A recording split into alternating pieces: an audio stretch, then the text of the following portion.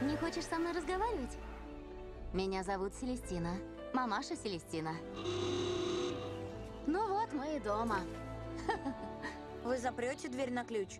Я ведь могу сбежать. Сбежать можно только тогда, когда тебя держат насильно. М? А людей вы арестовывать можете? Нет, лесник — это полицейский леса. А в лесу есть воры? Да, браконьеры. То тоже хуже всех. Только посмотри на них. Он же утонет! Я не умею плавать. Барель послал тебя шпионить за мной? Нет, клянусь. Нельзя! Клясться ты что, не знаешь?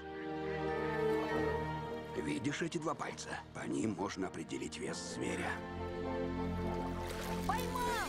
Поймал! Торжественно посвящаю тебя в рыцари Ордена Ловцов Рыбы на Мушку. Это браконьерство? А кто в лесу хозяин? День на этой территории, день на другой. Что это за паренек там шастает? Это мальчик из Парижа, он живет у меня на каникулах. Он вас больше не побеспокоит. Есть предание, что властелин леса иногда заходит на наши территории. Никто никогда его не видел. Величественное животное. Франсуа Клюзе, звезда фильма «Один плюс один». Там! Выше по течению! Назад! Назад!